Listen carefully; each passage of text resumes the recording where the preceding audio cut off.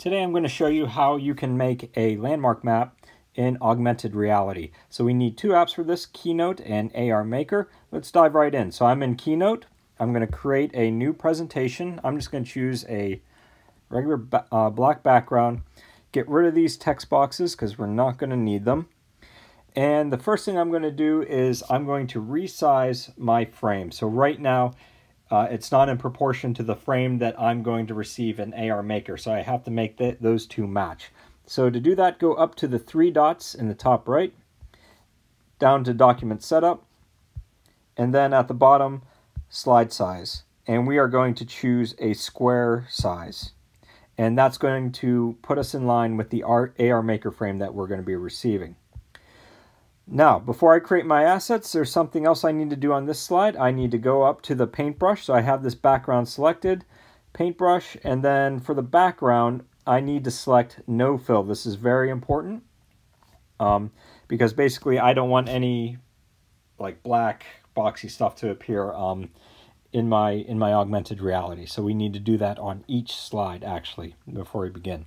So in Keynote, uh, basically what we're doing is we are making our digital assets. So those are what we're going to be seeing uh, interacting with the real world in the AR Maker app. On the first slide, I'm going to create my map. And prior to this video, I went online and I actually took a map of England that I'm going to use.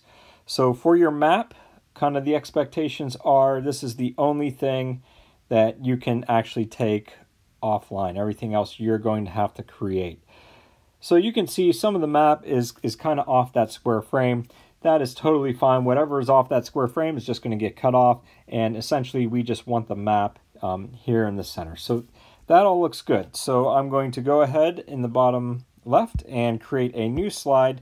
We're just going to choose a solid back black background and of course, we want to go up to our paintbrush before we start making anything. And we want to do no fill so that we can eliminate that background. So now I'm going to make my second asset, which is a landmark from England. And I'm choosing to make Big Ben, the famous clock tower. And you know, it might scare some people, you know, having to draw this, but you've been doing this since elementary school. Basically, we're going to be tracing, or what I'm going to show you, we're going to be tracing. So prior to this video, I went online and I got a picture of Big Ben. And what I'm going to do is I'm going to trace over this picture and kind of make it my own. Um, before I bring out my, my crayon, tap on the screen, bring out my drawing tools, I do want to select that photo uh, go up here to the paintbrush and then go here to opacity and turn that down to you know maybe just below 40%. That's going to allow me to see not only the picture but also what I am drawing so that's very important. Now I get out my Logitech crayon, turn it on, tap on the screen and you have any number of drawing tools down here at your disposal. I'm going to demonstrate using this little known tool, which is the, the paint fill tool, which I think is actually really handy for, for tracing. And so I'm going to select that and get a close color to like the main part of Big Ben here, which is like a, a brownish type color. Okay, so the key to using this fill tool is I want to get my lines as straight as I can. And I want to kind of trace this all in one fell swoop. Um, so I don't want to lift the crayon as I'm tracing. Now, one thing to keep in mind with drawing is that it doesn't have to be perfect. You also do not need to put every single little detail in here. Um, it's kind of expected with drawings too that artists will kind of take liberty with things maybe add certain things, leave things out. So you can see Big Ben gets rather detailed. There's all those columns on it, and I'm actually not going to draw any of those. So that was kind of a quick trace. You can see like my lines aren't perfectly straight. That is okay, especially for the purpose of this demonstration. Doesn't have to be perfect. In fact, it kind of adds like a cart. It's going to add a, a cartoony effect to it. Let's get this piece here since that's the same color. Okay, and now the other two remaining pieces that are the same color, that's like a, a bluish slate color. We'll choose that.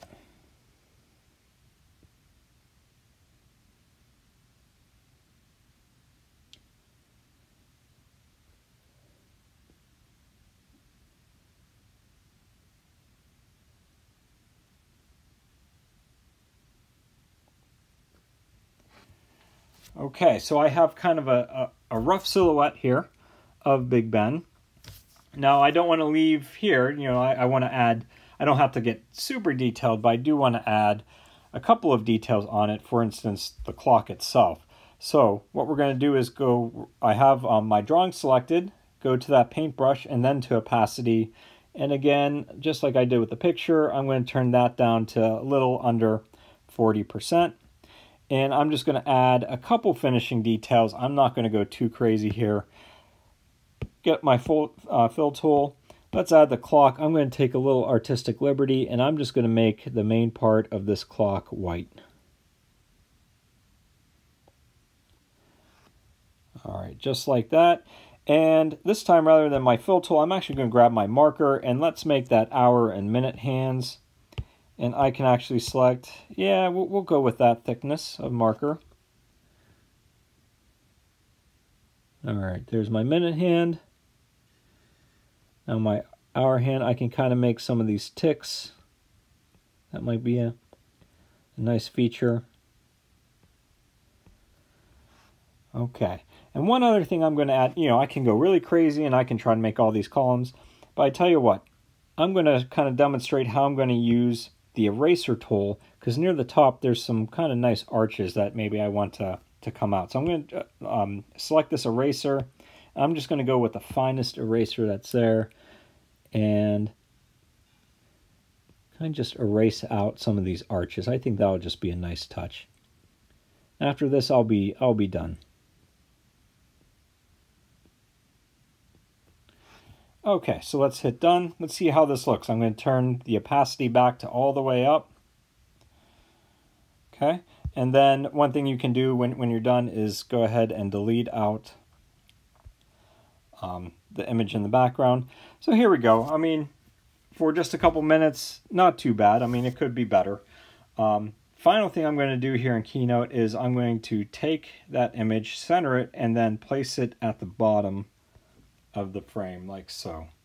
Okay, um, that's going to be very important because it's going to be standing up on the map, so it needs to be kind of centered on the bottom. All right, so at this point, you know, you can keep on drawing any other landmarks, any other assets that you need. Let's say I'm done here. I need to export, so I'm going to go back up to those three dots here. Export. And one of my options is to export as images. A couple things to point out. In this case, I want all the slides, so all two of them. PNG is fine. And then transparent backgrounds, make sure that is turned on. We do want transparent backgrounds. And go ahead and export. And then save the two images. And now those two assets are in my camera roll and they don't have uh, background. So I'm ready right now to bring out the next app, which is AR Maker. So I'm going to go ahead and launch that.